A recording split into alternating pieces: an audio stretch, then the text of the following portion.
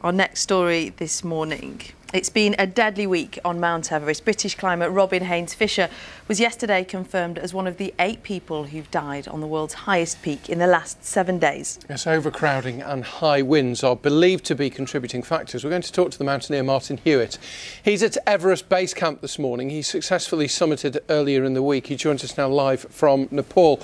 Um, Martin, thanks very much indeed for taking the time to talk to us on Breakfast TV this morning. We're very grateful to you.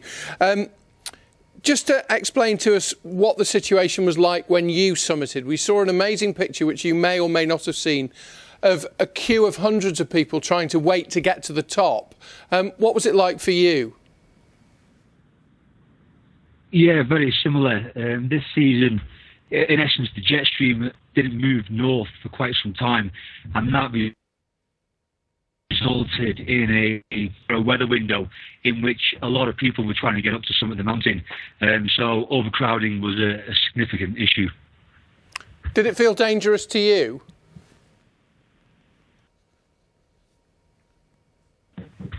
We, um, we were very lucky. We prepared well.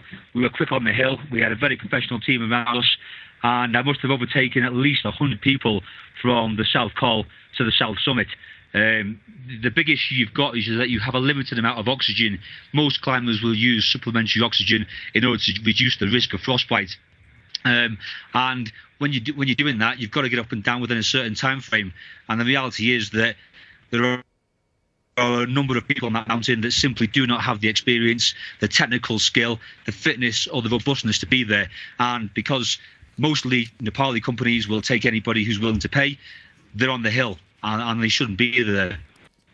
Yeah, it's interesting that you make that point. So, are they too too free and easy with selling these permits to people? That's basically what you're saying. Oh, 100%. Yeah, I mean, you pay the money. Uh, uh, I mean, there's a number of issues on the mountain which uh, which the professional operators and some of the commercial operators that have been in here for decades have constantly been trying to fight, push back, try to professionalise what's going on. But ultimately, you're dealing with corruption you're dealing with people that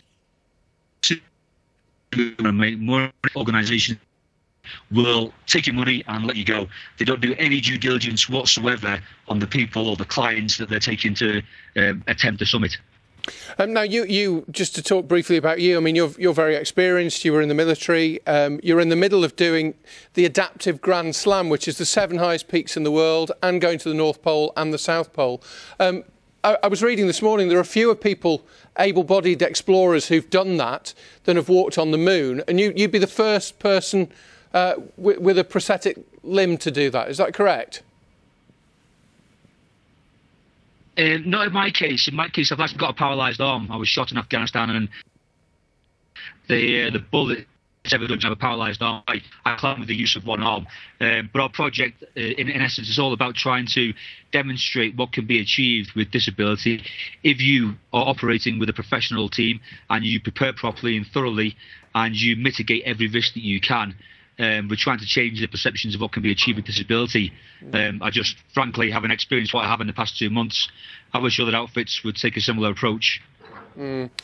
Uh, Martin, we're really grateful to you for talking to us, um, and very best of luck with the rest of your challenge. Clearly, you are well prepared and you are ready for it. And uh, to, to, to, talk about Everest as, as a hill, you, you, said you're on the hill. Um, you obviously uh, have got it well within your compass, and we're very grateful to you this morning for talking to us. Uh, Martin Hewitt, there, speaking to us uh, from Everest Base Camp. Gosh, I didn't realise that there was that much difference between the teams that could prepare you. So it's obviously really important. Uh, I, that's one of the most I mean, we were speaking yesterday on the programme to people who, who were talking about how free and easy it is to get up there, and you know, he, he was very powerful, wasn't he? Talking yeah, about yeah. yeah. Um, let's have a look at what the weather's got in store on this beautiful bank holiday that we've got coming up. Louise is here. Very good morning to you, Louise. Morning. I think I'll stick for a nice walk in the Chilterns. Really, it's about my comfort level. But a lot of cloud around this morning. It's a mild start.